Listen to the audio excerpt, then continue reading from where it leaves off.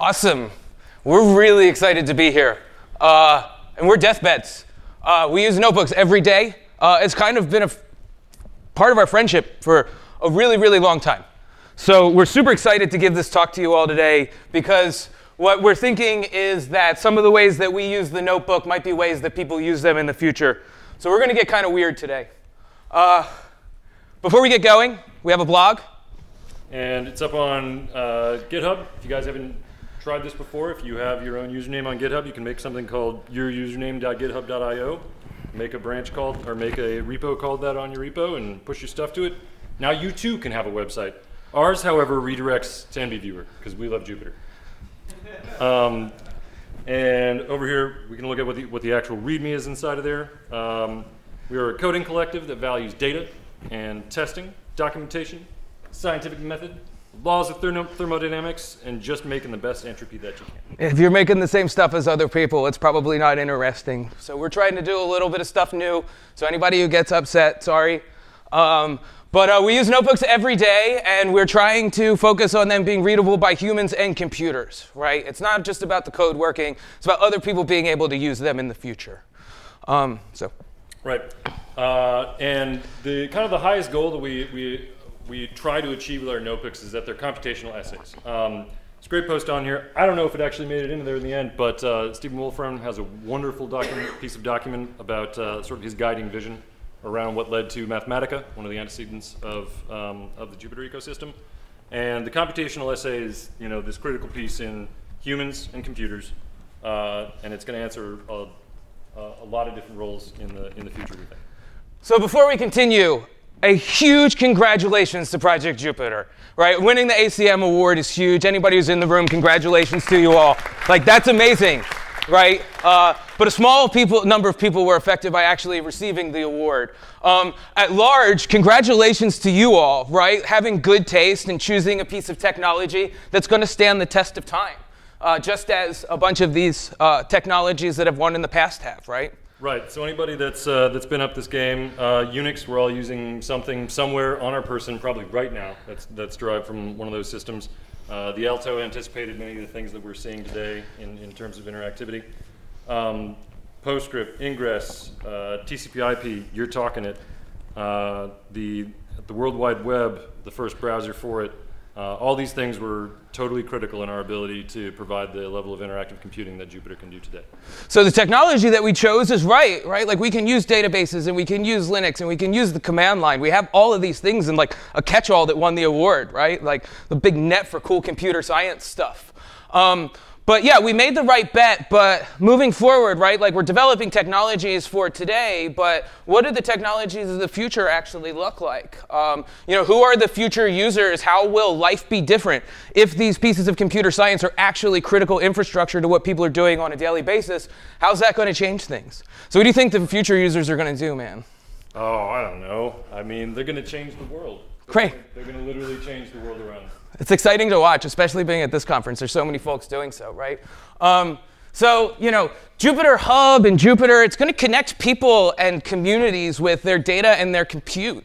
Um, it's amazing. Personally, it makes me feel like I'm a reporter from the uh, from the Daily Prophet. Why aren't those? Yeah, there they are. You know, it kind of makes me feel a little bit like a like I can actually, uh, you know, make these documents that move. And moreover, oh no, Nick. What's up? Oh no. Control. We didn't restart and run all. No. How do we not restart? Okay, we got to move faster anyway. Um, cool. So we're moving. So you know, GitHub's a graveyard. There's 250 million notebooks on there, and it's continuing to grow. Million notebooks on. Two million notebooks. There will be 250 million, don't I think you think? You're probably right. Yeah. Cool. Yeah. Cool. Um, is our network barfing?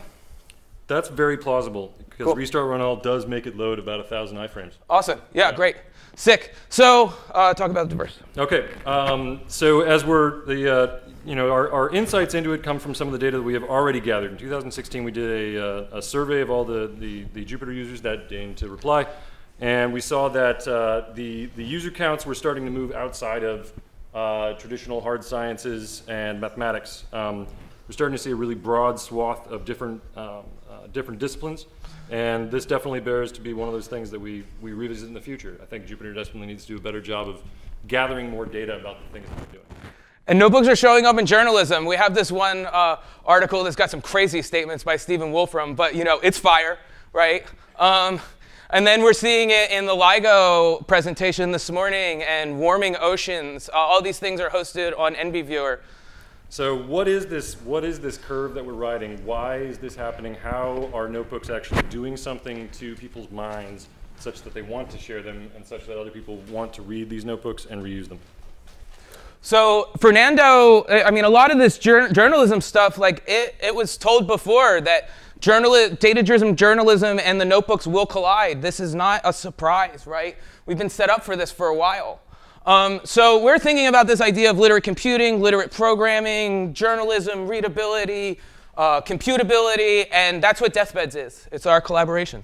Because we needed something that wasn't already domain squatted by a bunch of other things. And so uh, we have a few tenants. We, we shared some of them a little bit earlier, but uh, what we want to talk about today is notebooks as the basis for uh, creatively exploring your future literacy, right? Uh, what will these users of the future, what will it mean, mean for them to read what other people are writing and to write the new things themselves? And all of our notebooks are importable as modules, so they're not only readable, but they're reusable as code without changing them to Python. So importnb is the project that's going to enable a lot of this, and it's in the Deathbeds organization. And you can see if we imp- we're actually um, importing some code here and running some code, and you can see that the source is actually um, uh, IPyNB files. And uh, with that, uh, we're going to kind of jump. We're going to skip ahead here, but some of our inspirations are up there. You can go and check them out afterwards. So moving on to the next segment, we're talking more about what, what is this literacy? What is the definition of this literacy that we're actually going to be encountering? Um, so the, uh, what, oh, he's doing things, he's doing things. Good, man. Great. There we go. Okay. Um, so this is this is a, a quote inside of a quote inside of a quote. We have a couple of these from Annette Vee She's definitely worth a read uh, if you have the chance. But um, uh, you know, paraphrasing, we're we're basically controlling our languages. And luckily, as computer scientists and, and users of computers, we definitely understand that language is, is a pliable concept. Uh, and we're going to do some really bizarre things with that today. Great. So there's a few, there's, there's three literacies, and I kind of want to align them to something that everybody knows. Uh, we're going to talk about Markdown as being a textual literacy, code as being a computational literacy, and notebooks at large as being a procedural literacy. How do you take things and put them together? Um, and we can see, like, we can see how a lot of histories and influences have really gotten us here. If we look at computer programming for everybody, which is Guido's uh, DARPA proposal, we can see that oh, we, they compare it as a mass ability to read and write. Code has become that important.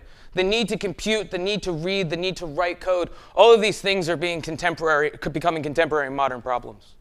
But really understanding how this, th- this stuff actually works is not as important as understanding that it works. And that's procedural literacy. If you do this thing, and you do the next thing, and you do the next thing, you're going to get this result. This is the most important part of the, literis- the, the literal concept. What can we make computable without having to understand how the Intel x86 architecture works, how TCP/IP works? And Jupyter is doing an incredible amount of work in that regard, I think. So another opinion that we take on top of that is we write Markdown first. We write docu- we write code that people are going to read. And one of the ways that we, we have this, we, again, this is one of our posts. Um, but uh, if we were to, you know, just kind of consider the simple case here of print, and we show print. If I were to tab this, if I were to turn this into Markdown and run that, it just prints. But just a simple tab kind of converts the idea of my cells from being marked down to code versus on and off, right? So this is a weird thing that you're going to see in our code. I apologize to anybody who doesn't like it. Um, So this uh, this wonderful blushing young man here uh, is Donald Knuth. Um, uh, a great read out there is uh, the the infinite layers of Yakshave that that he performed in order to arrive at the book of the century and develop the language and all that. Anyhow, so LaTeX was one of the big uh, uh, motivators for the notebook is the ability to communicate in a scientific manner, and this ability to be multi-language uh, from the get-go has uh, really helped us understand what it is we're trying to build and for whom. but basically, what he said is don't write code that people can't read, Right. right? Like Yeah. that's just not nice. It's, Just- it's very considered and selfish. It's true. So uh, we're going to combine literacy, and we're going to kind of make this argument that, like, replicability or reusability, one of the key features that's missing is readability. If we wrote more readable documents for humans, then perhaps it would be easier for, those to, for them to reuse those things. So we have markdown and code and notebooks, textual, computational, and procedural literacies, but now we have this readable, reproducible, reusable aspect. And Gall has a great article about it, but we're not going to touch on it. Uh, Mostly because the background's black. Yeah. Uh, but yeah, go. So, uh, so what does it actually mean to be readable, and how can we apply that to code and not just, you know, did you write proper English? Um, and we what? Wow. Uh, I, I, I go. Man, keep going. Yeah. All right. So uh, you know what we what we want to look at here is uh, uh, you know what are the what are the types of conventions that we can introduce that help make uh, the product that we're creating better. Python has these suggestions. And readability counts. Yes. And then Zen of NumPy, Zen of SimPy. There's all these ideas around um, how we can program better but like when we're writing literate documents, computer programs have style guides, computer programmers have idioms. So it's really hard to marry the way that we write code with the way that we write. We have to change a little bit. And the new users are going to help us do that. Uh, like black is the only color. Uh, anybody use the black formatter? Yeah, yeah. This is like really bad code to blacken. But if you write bad code, we've got this cool little magic here that's just going to go and like replace your code all sweet, right? So you know, don't worry about code formatting. Have somebody else do it. You're a person, not a machine. That's right. Um, uh, and and uh, Paco was very nice to, to give us a few uh, shouts out this morning, but uh, this is one of his talks that he gave at Jupyter Day Atlanta not too long ago. Um, and we uh, uh, really in, encourage you to check out Paco Nathan's talk about Oriole. Um, one of the key things in there is what we think is probably one of the first presented style guides for the notebook. Yeah. Um, there, there wasn't really anything that told you what to do in a notebook before this, and, right. and they, they actually had a really well-defined criteria for it. And the, the two that we really the re, two that we really leaned into was number one, focus on a concise unit of thought, because that sounds a lot like unit testing, right? So if we can write unit testing like things in the notebook, then maybe more people can write tests, because everybody wants more tests, right? Um, and then the other thing is restart and run all or it didn't happen. We've kind of changed, changed that phrase, but if you want to make a readable and reusable document, everything better execute because a human reads the same way as a computer. If they don't understand what you wrote, they get an exception. It's just that it didn't show up in the terminal. Um, but this, readability, this restartability allows your ideas to persist longer. Right. Uh, and that persistence really takes its form in a, in a number of different ways. Um, that is a lot of emoji. Uh, so the, the accessibility of your, of your content to uh, different kinds of computers, different kinds of people, different kinds of robots, I don't know, whatever it is that we're going to be communicating with in the future. Um, so start to build those, build that prowess now, and work in other languages that you don't know. Learn about new kernels. Try new things. Uh, like try new things from the internet. Like like like import this module that gives you TQDM. Uh, oh, it's not pl- playing noise. It, there it is. Yeah. So what if your TQDM played some sound and you walked away from the computer and you knew when it was done? This is just a notebook that's on GitHub that we're in.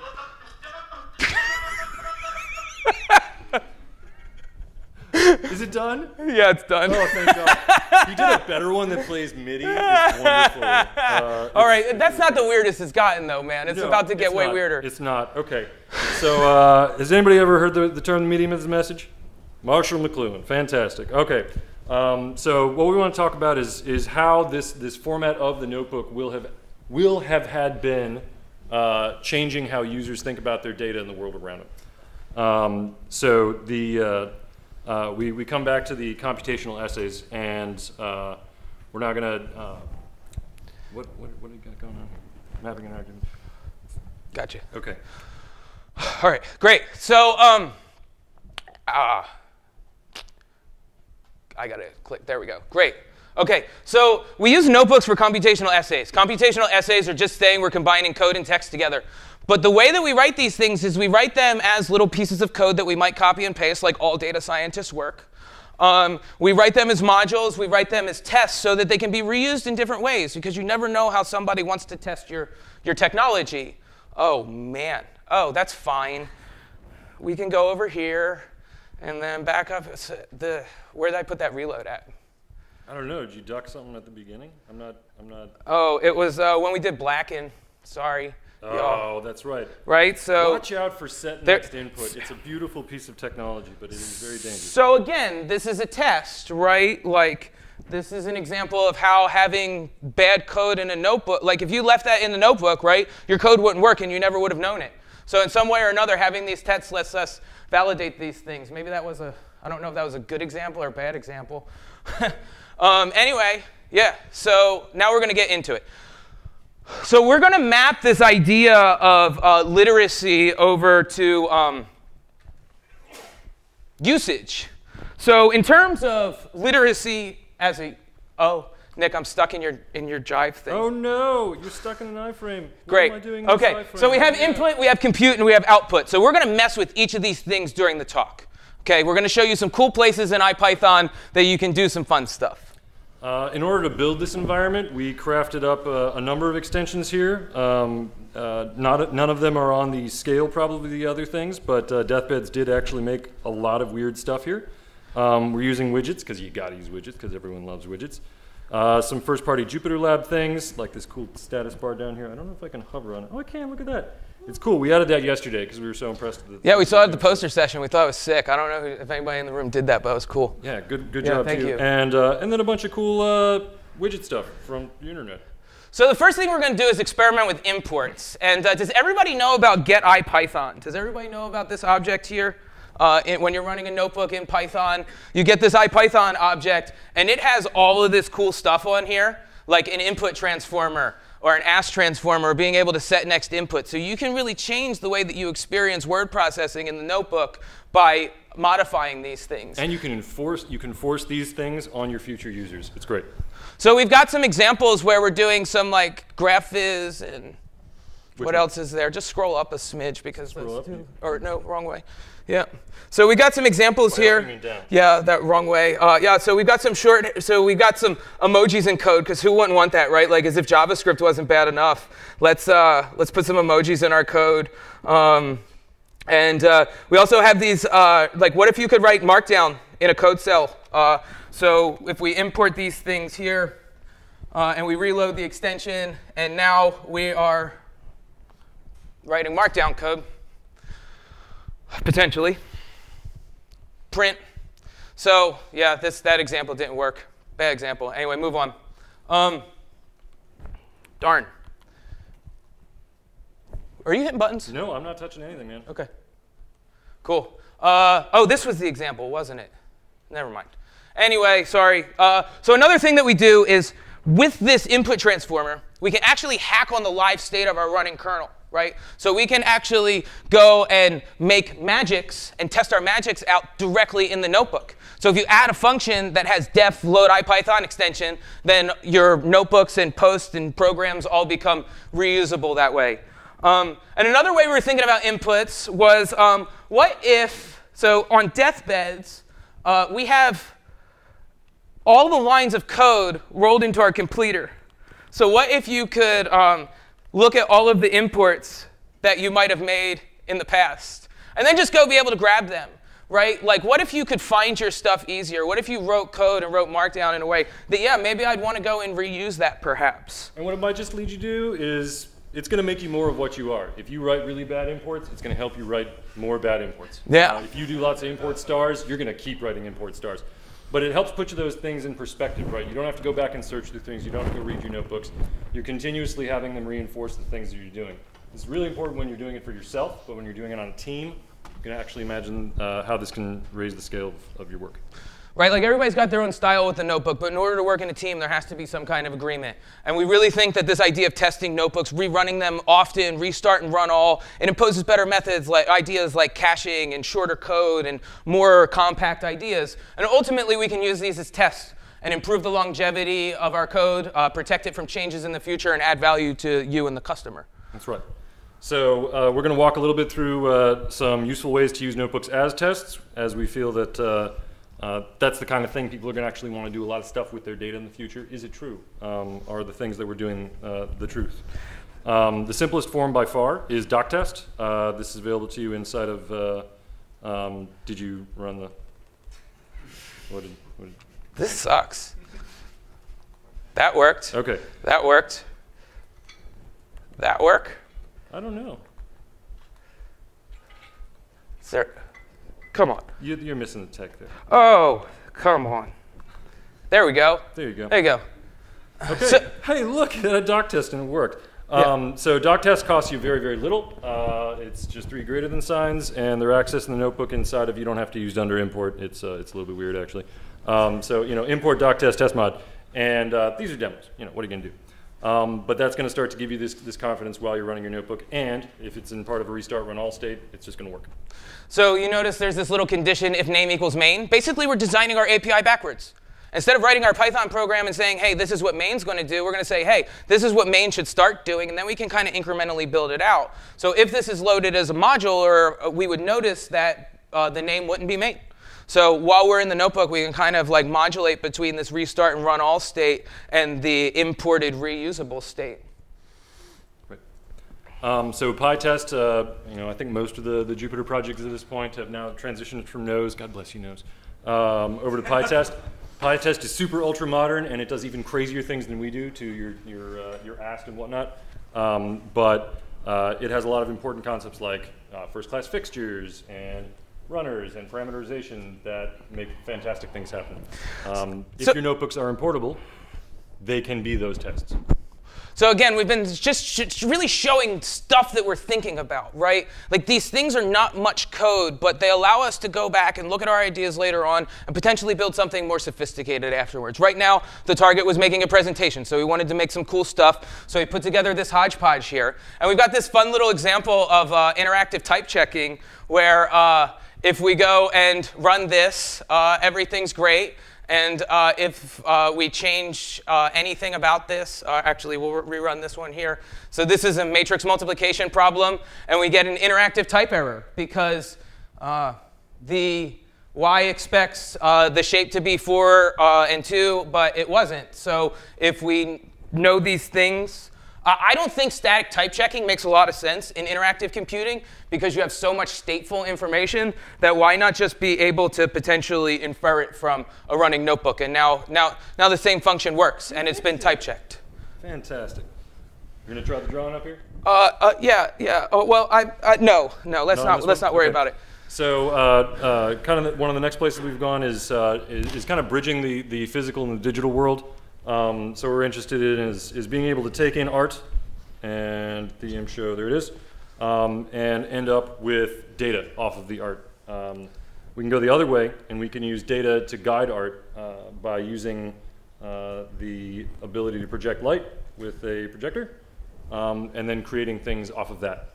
Um, so this guy, you can't really see it, but uh, those were widget-controlled sine curves that then became the visual grid.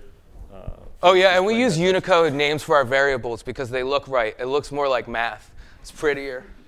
Um, yeah, cool. So we, outputs. Number one, NB viewer is the main form for output, right? We also uh, uh, are, some of these notebooks will run on Binder on both reincarnation and deathbeds. Uh, so have a look at our blog sometime, and then Nick, do it. I know Oh, you're no. so stoked. Oh no. I'll run it for you. Okay. Uh, so one of the places that I've. Uh, uh, oh. Okay. You done? Running. You done? It's running. You run it? I ran don't it? know. You run it. What? Di- okay. I'm gonna Sorry, run it. mine All right. wasn't working. I'm running it. Cool. I'm not sure what it's doing. Is it collapsed?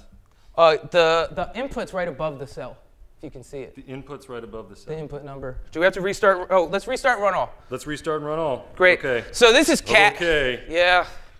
Escape. This isn't working over here, man. Oh, got it. Oh, I'm on it. okay. So this is CAD in the notebook working with widgets, right? Like, uh, uh, uh, the, the scenario should have popped up a little bit quicker, a little bit rough around the edges. We're putting a lot of stuff in here.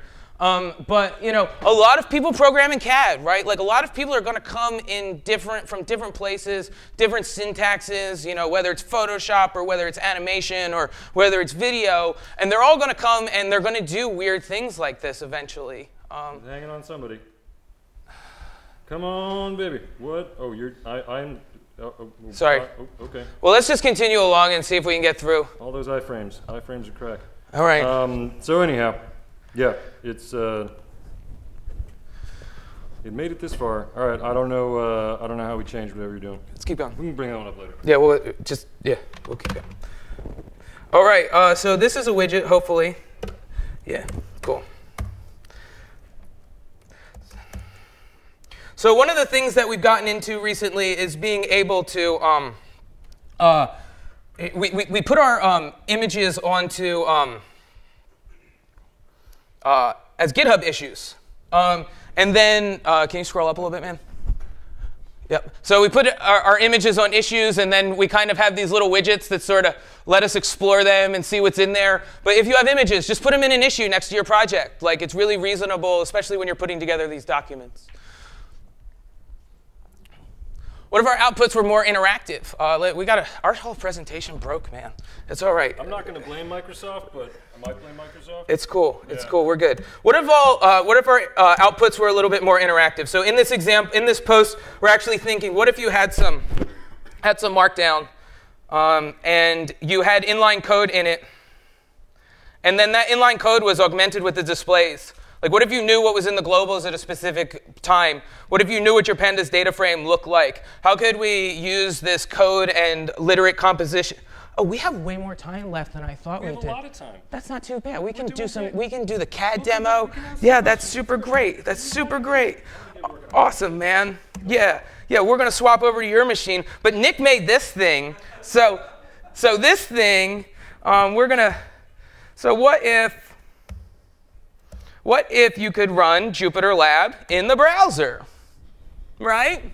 What if you could just open up Jupyter Lab and start writing TypeScript and writing Python and be writing CoffeeScript? You... Or what if you could open up something that could also get inside of uh, you're running Jupyter Lab that had access to all the things that Jupyter Lab can do.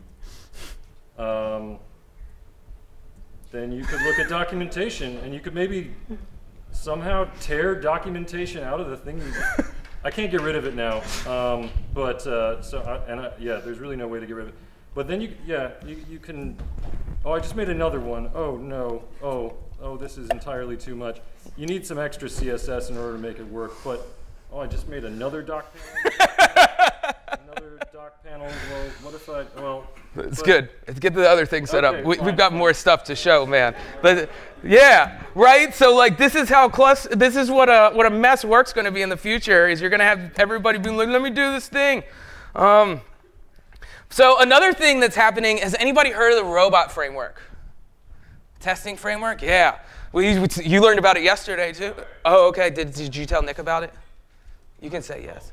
Okay. Oh, all right, fair enough. He's been telling everybody about Robot. Robot's a testing framework for Python that just makes it super easy to spin up Selenium and write uh, behavior-driven development tests and stuff like that. So in this example here, um, we actually can go. Is it in kernels? Kernels, kernels, and then we can look at the test results. Uh, there is is it ter- where, four? Okay. So in the for loop, uh, we're testing all the kernels uh, verifying all the, uh, that they all work in the browser. Where's the images? Cool. And they're also taking screenshots for us, right? So we can be developing this application in JavaScript, taking screenshots and making sure that everything's okay. So, hell yeah.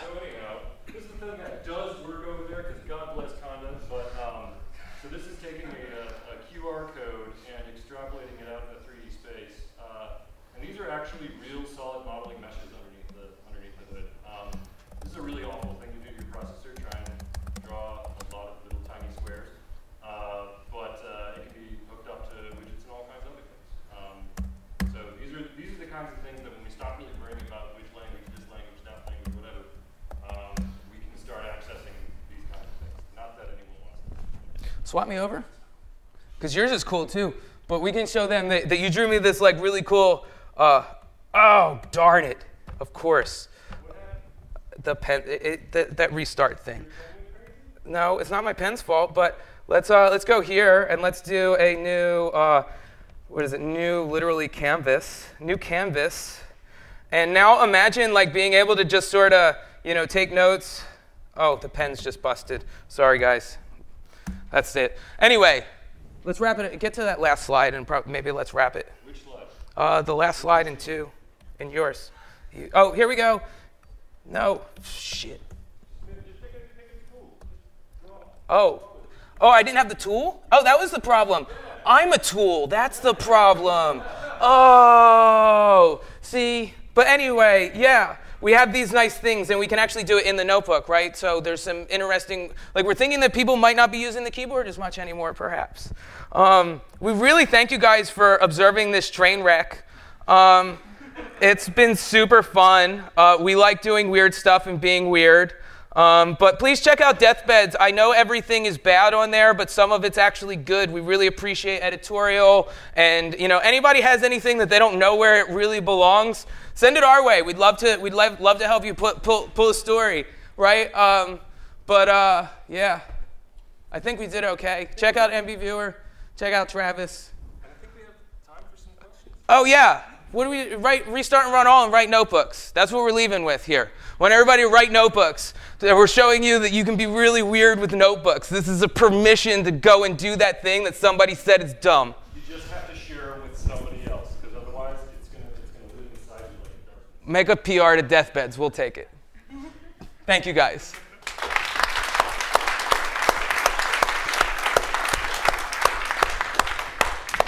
What are we at on time for questions? Four minutes. just had the 10 minute mark.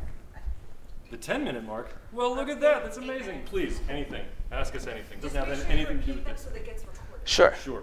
Um, all right, so it's not directly related to what you're talking about, but I'm Good. really curious to hear what you guys have to think about this.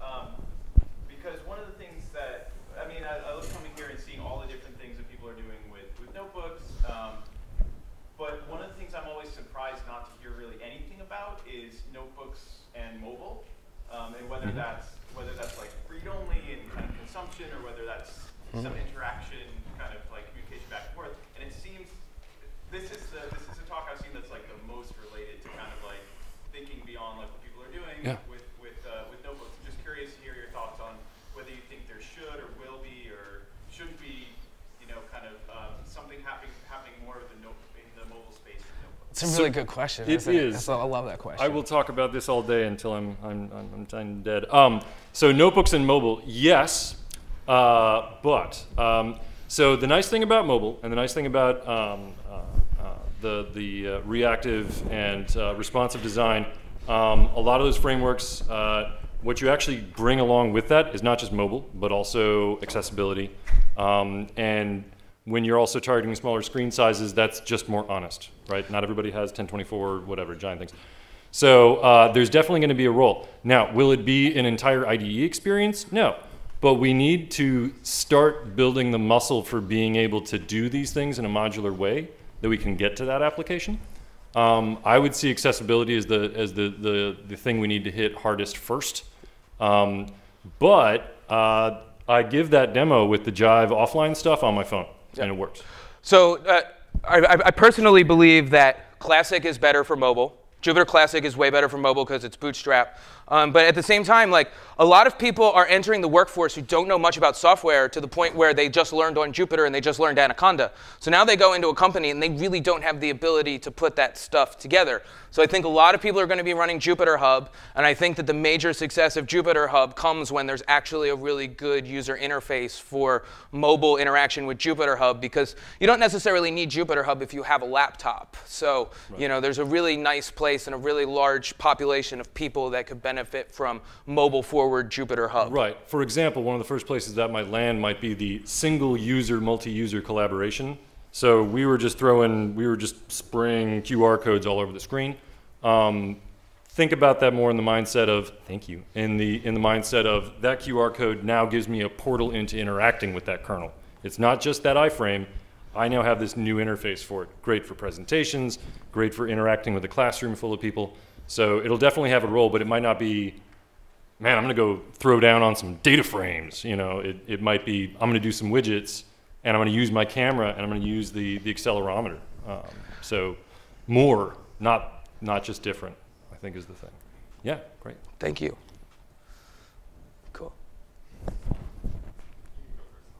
should I write all my Jupyter Lab extensions in Jupyter Lab now with this bright this Um, yeah, you can demo them. I mean, you can you can prototype them, right? Uh, it's it's actually very hard to write TypeScript um, uh, in the way that I implemented the TypeScript kernel. So uh, yeah, language server protocol. Just throw the whole language server in there. Oh! Um, but uh, yeah, I think there will get to a point where you should be able to write a single notebook extension that we can install. I, that, that's, a, that, that's why I started going down that road with Phosphor and everything. Um, should you do it today? No, no. But Once everybody starts writing notebook, like actually Yeah. writing notebooks in other languages, it then really becomes possible, yeah, right? yeah, I would love to see that. Yeah. Yeah. Sir, So there've been like a lot of there've been a lot of historical criticisms of literate programming, um, and I'm kind of curious as to what your thoughts on those are. So I, I, I don't think we're doing literate programming. Uh, I, I really take Fernando's definition that we're doing literate computing, where it's like, you know, the tangle and weaving used to be a thing that a program did, but now the human has some intervention there. So I think there's like a little bit more resolution into the process of literate programming by considering an activity of literate computing. When you say literate programming, you expect some style conventions, but when you're thinking about the coding, the coding part is more idiomatic in that way. Does that make sense? Yeah, that makes sense. Cool. Awesome. Thank you all. thank you so much. Hey, great job, man.